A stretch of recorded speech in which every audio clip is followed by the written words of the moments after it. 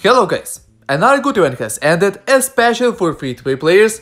Why it's good? Because you could get Squidward and Gary for free.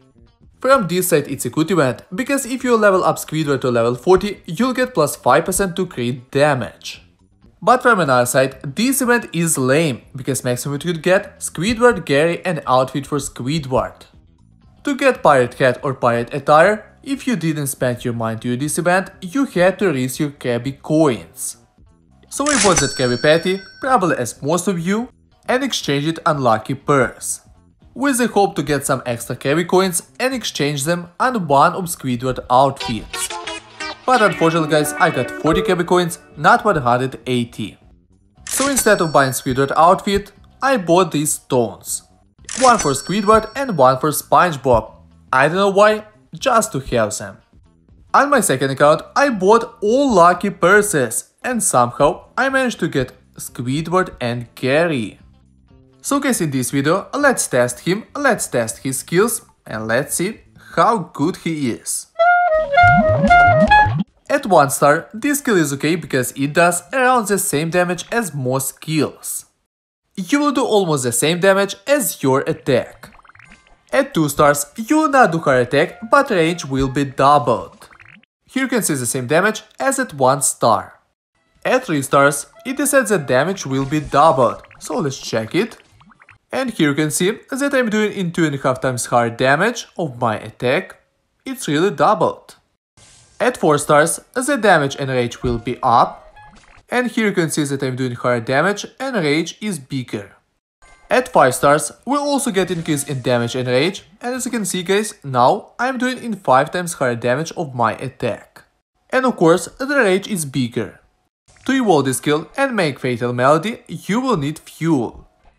At first guys, let's check these two pictures, let's compare the rage, Clarinet 5 stars and Fatal Melody.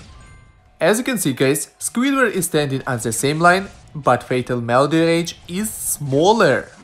Not much, but the fact is fact. On this picture, we can see that Fatal Melody does two different damages. One of them is small, little over than 4500 and another damage is 18000. Yeah, it really does two different damages. That smaller damage is main damage because you do it most of the time, but the big damage is the second damage, because you do not do it very often. If you compare damage of Clarinet 5 stars and main damage of Fatal Melody, we'll see that main damage of Fatal Melody is lower and the same as for Clarinet 4 stars. Unfortunately guys, as in case with Rage, Fatal Melody main damage is nerfed. If you take 18,000 damage and multiply it by my attack, 1250 attack, you'll find out that I'm doing in 14 and 4 times higher damage of my attack. To check if amplifier is correct, let's increase my attack a little. So I equip the attack part to get plus 25 attack.